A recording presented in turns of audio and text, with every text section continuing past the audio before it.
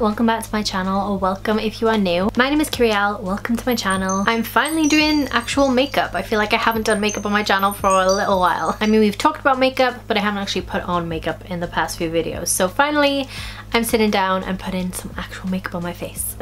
Today I'm doing three looks with the Me, Myself and Mmmmitchell palette. I've done two kind of brighter looks and then one neutral. This has become one of my go-to palettes, especially for colourful looks, but there is also neutral colours in here. And overall the formula of these shadows is so good. It is literally one of my favourites. So I thought I'd dive right back on into it and create a few looks with this. If you enjoy these kind of videos where I do multiple looks, please leave a thumbs up so I know. And I can do some more. I've got a few palettes back there that I can crack open and we can do a few looks with them. This makeup actually isn't included in this video. I forgot to film an intro. I'm just hopping in to tell you guys what we're doing in this one. But I have filmed it so it is coming up in an upcoming video. So if you like this makeup then it is coming if you're new around here, I'd love it if you'd stick around. Why not subscribe? All you need to do is hit the red button down below and the bell button and that'll just notify you when I upload next. But yeah, without further ado, we've got three looks to get through, so let's get right on into right, it. So this is the first look we're doing. This is actually requested by one of you guys. I wore this in one of my most recent videos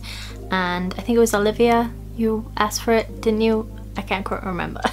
but I'm going to be doing it today. I'm going in with the Cut Crease Canvas by Make Revolution just to use something a little bit different. And I'm using a Morphe M224 brush to pat this all over the lid. I'm just doing a light layer of this all over the lid, all the way up to the brow. I am going to be going in with a white base to do the actual cut crease, so I'm not worrying too much about the actual lid itself. Make sure that around the edges there's no harsh lines or anything, so I really blend it out and into the skin. Okay, the first shade that I'm going in with is called Morning Glory, and I'm going in with the Morphe X Jeffree Star brush in JS13 and I'm starting to carve out the cut crease effect. Because I have more hooded lids I'm keeping my eyes open and I'm actually looking into a mirror straight ahead so I can see the shape and also I can try and match it up with the other eye try being the word. I'm not worrying too much about getting it on my lid because this is just the base colour and I am going to be carving out the crease so I'm just placing the colour down. Now as I come to just over the halfway mark as you can see it kind of lines up with the end of my iris. I'm going to make sure that the majority of the product is taken off the brush and I'm just going to start fanning it out at the end because as you can see by here it kind of fades out so I want to make sure I'm doing the same with this eye and I'm barely touching my skin with the brush. I'm holding it right at the end and I'm just doing light little brush strokes to, to fade the colour out. Just like so. As you guys can see, I've got a lot on my lid, but we're going to clean that up later, so don't worry about it. Now I'm going in with one of my favourite shades in the entire palette, which is called Mr. H, and I'm going in with the Morphe um, M124 brush, and I'm going to go 50% on the pink and 50% on my actual bare lid. And this is going to start that gradient. Because this is such a thin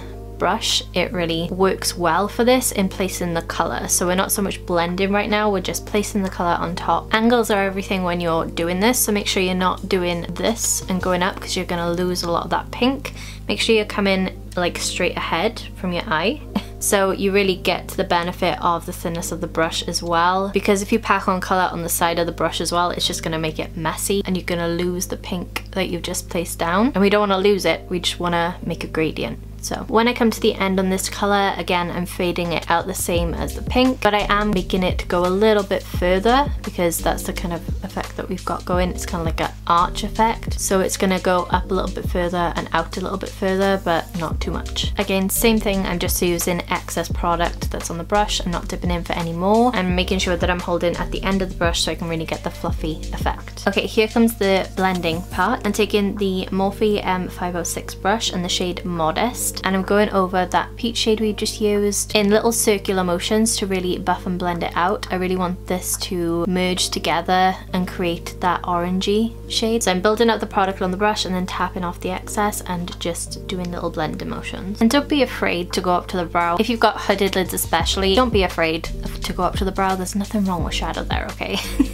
Taking this right into the inner corner as well. And now again with the excess, I'm doing exactly the same but with little circular motions and again I'm taking it slightly further than the original colours. Okay, now I'm just taking a step back and looking at the eyeshadow with a horizontal mirror and I'm seeing if I'm even and I could tell that I've gone slightly further out so I just evened myself up. Working little by little, adding the colour very gradually and making sure that I'm still keeping that tapered edge at the end and now I'm pretty happy with the layout and that I'm pretty even. I'm never gonna be perfect.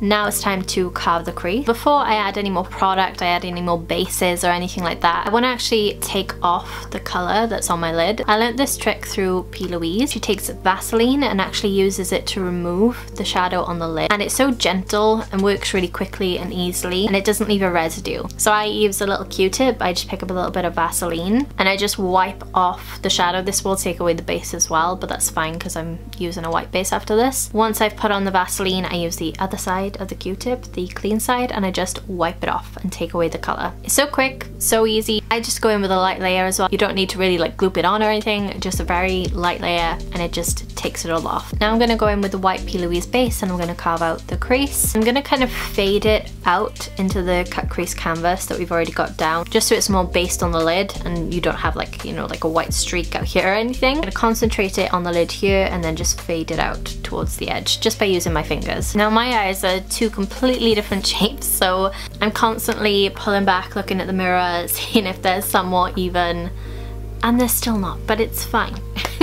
But now it's time for the wing before we set the lid because we're going to be creating a wing. We don't want that shimmer already on there. So I'm going to go in with a Spectrum A24 brush. This is super duper thin and I'm going in with the shade Morning Glory again. I'm going to look straight into my mirror and stamp where I want the wing to end and then bring it in. Bearing in mind that I'm bringing the wing kind of halfway across the lid. Once I'm pretty happy with the placement, I just connect the outer corner to the lower lash line. I also smudge a bit of the colour at the lash line as well because we are creating a gradient wing. Now I'm taking a Spectrum A15 brush and I'm going in with the shade Mr. H and I'm fluffing over the inner edges of this line. And then finally I'm going in with the shade Modest right in the centre and just fluffing that out. Alright, now it's time to set the rest of the lid. I'm going in with the Morphe JS11 brush and I'm going in with the shade Muffin and I'm just gonna go right over where that white base is all the way out here as well. Make sure to pat out any creases as well before you go in with this colour. You can use a smaller brush if you'd like to, to make it easier, but I'm just lazy, so I was just using the tip of this one to go in the smaller areas and kind of flipping it upside down to make sure I wasn't hitting the wing. That's all good and set. Now we can go in with the fun stuff, which is the pigment. so I'm using Peaches and Cream pigment in the color Hollywood.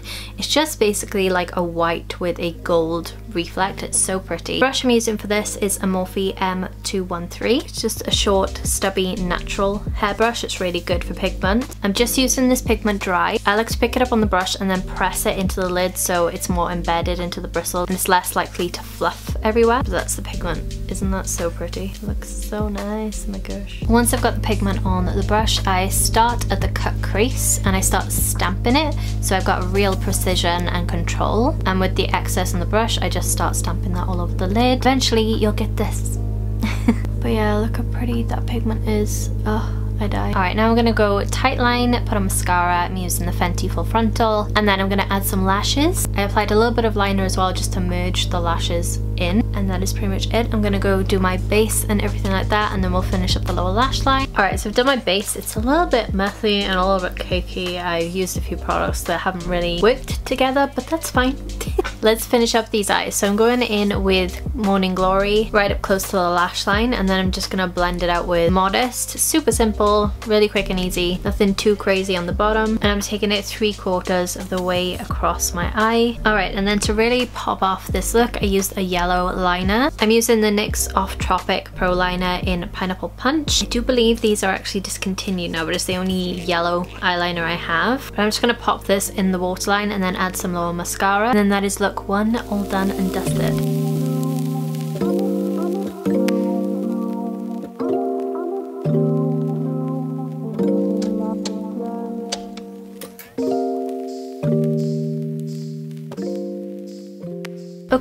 So this is the first look done. Let's move on to the second which is this one right here. It's a pretty summery pink and orange cut crease with a little golden glitter as well. I really like this look when I did it the other day, but I didn't film it, but now I want to. Let's get right on into it. So I'm priming again with the Makeup Revolution Cut Crease Canvas. I just, I've been really enjoying this lately. Really lightweight on the lid and just has decent coverage. So similar to my last look, I'm going to start out by doing the base of my cut crease and I'm going in with the shade Mixer. For this I'm using the Morphe M456 brush and I'm just going to start sketching out the shape for the cut crease. I've going to try to remember to stop lifting my eyebrows because I automatically do this. and my eyes don't rest like that so I'm trying to make sure I don't do that.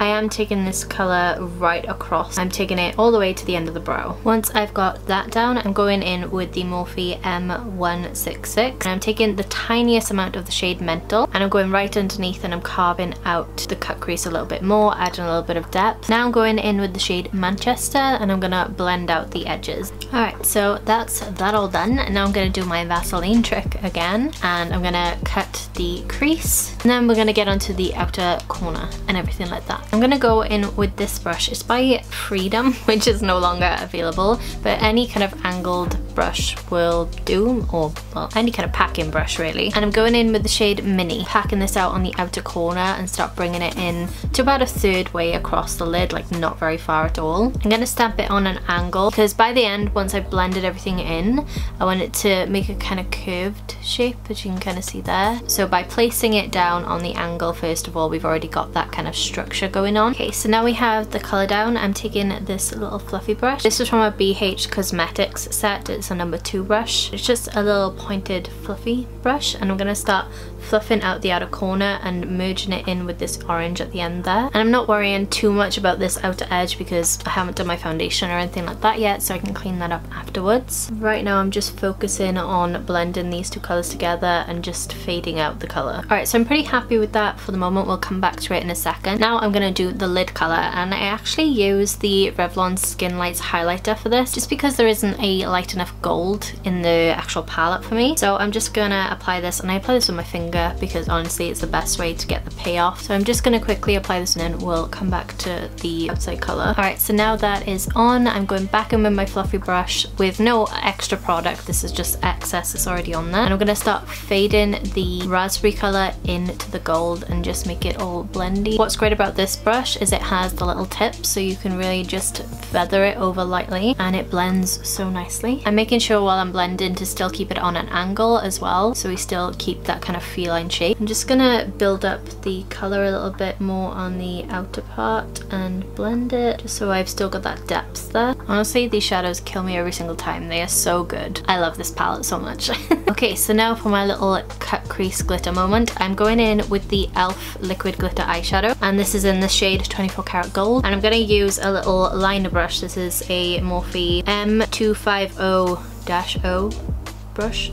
It's just a really tiny brush that's really great for detailed work like this. And I just take it off the little doe foot and just cut the crease. When I come towards the end, I just make sure I haven't got that much product left on my brush and I just kind of taper it out. It's not the thinnest line I've ever done, but at least you can still see it. I'm gonna let this dry, do my lashes, add some falsies and my base, and then we'll finish up the lower lash line together and we'll see the finished look. Alright, so I'm back with my base and everything on. Now it's time to finish up these under eyes. I'm gonna go in with the Morphe M124 brush brush. This is such a handy brush for getting right underneath the under eye and also just packing on colour. Pretty good diverse brush. But I'm going to take the colour Mini and link it with our outer corner and bring it in three quarters of the way, tucking it right into the lash line. Now I'm taking a Morphe M506 brush and I'm going to take the shade Mixer and I'm going to buff and blend that colour, again merging it all together to blend it out the outer shadow. Then I'm just going to add lower lash mascara. I'm also going to add an inner corner highlight with just the colour that we used over the lid, the Revlon highlight. And then that is it for this eye look.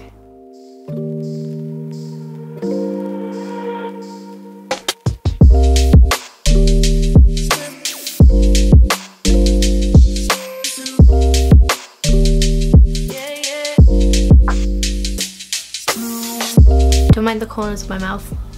I just had something to eat, okay? Don't judge me. Here is the finished look. I really like this one.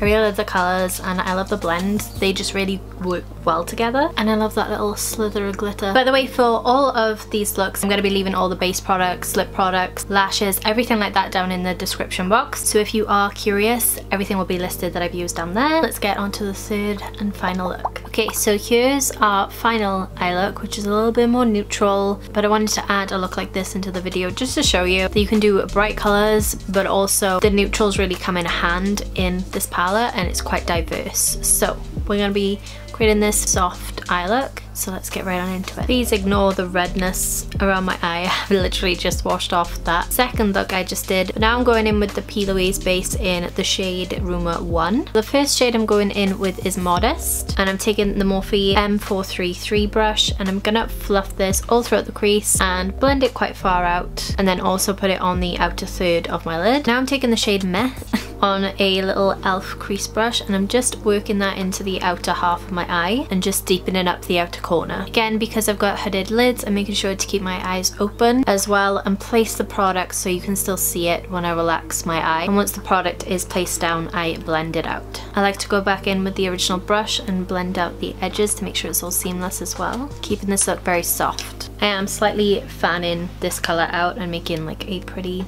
gradient. Now I'm going in with this battered Zoeva brush. It's the smoky shade brush and I'm going in with the shade called Master which is this beautiful bronzy gold shade and I'm putting it all over that open lid up until just about halfway to meet that meh shade. And I'm not being super precise with it, it's not a cut crease or anything, it's just laying down the colour. I'm actually going to take the edge of the brush and just kind of blend the edges a little bit so it's not so harsh. Now I'm going to take this tiny little brush which is the Beauty Bay On Point brush. Pretty sure this is supposed to be a lip brush but I'm just going to use it to use the shade Monday and smoke out the lash line a little bit just so we've got some definition there for when we put on the lashes and everything. Once I've placed the product down I'm just rubbing it slightly with the brush and it just blends it really nicely so it's smudgy and not a really harsh line. Now you can stop here if you wanted to, but I'm just gonna amp it up a little bit more. I'm gonna take the same shade Monday and just add a little bit more definition out here. And by a little bit, I mean the tiniest amount. And I'm taking the same e.l.f. crease brush. Just make sure that you blend it all out and everything. Taking my original blendy brush. This was a very last minute decision, but I added the shade Meaty in the center just to kind of blend a little bit more warmth into the look. I'm just gonna do that on this side as well. It also creates a really pretty rosy gold tone. So now I'm once again gonna go put on mascara, lashes, tight line, do my base, and then we'll finish up the lower lash line. So I'll be right back. okay, so my base is all done. Went a little bit over the top again, but it's fine. Let's finish up these eyes because I've lost daylight. It's been a while. so for the under eye, what I've done is I've gone in with the colour Meh and I've taken that pretty much all the way across the lower lash line. Then I went in with the shade Modest and I just blended that colour out real quick. And then finally I took the shade Monday on a really pointed brush and tucked it right at the lash line and just blended it into the Meh shade and it just creates a kind of sultry smoky eye. Then took a clean blending brush and I just merged it all together to make sure that the blend on the outside is really seamless and that is it. That is the look completed and that is the final look of this video. I feel like I've been filming for an age and I have. so let's just wrap this video up shall we?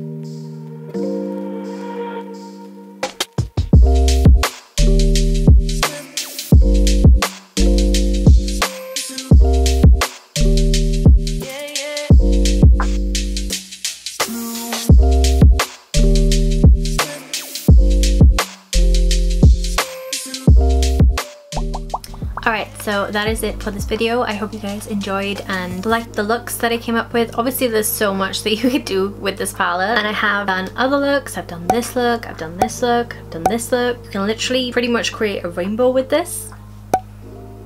and I just wanted to play around with it and show you a few more looks. Maybe, maybe this is the palette that's in the giveaway. I'm not saying it is, but I'm also not saying it's not. Let me know if there's any other shades that you want me to play around or any other colors that you'd like me to create a look to. Thank you, Olivia, for asking for a tutorial on the first look. It really inspired me to use this a little bit more. And so I hope you like the rest of the looks that I put together. If you enjoy this kind of content and you like makeup and everything that comes along with it, I would really appreciate it if you subscribe. All you need to do is hit the red button down below and the bell button and that'll just notify you when I upload next. So yeah, I'm now gonna love you and leave you. I hope you having a wonderful day wherever you are in the world. But until the next video, I shall see you. Bye guys. My name is Kyrielle.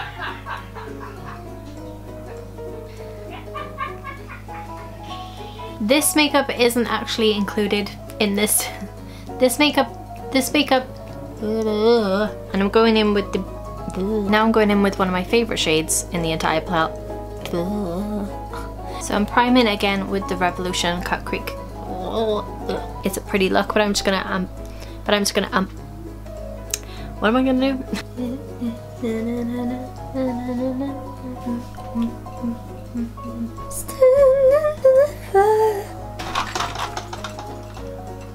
I'm a hazard in my own room.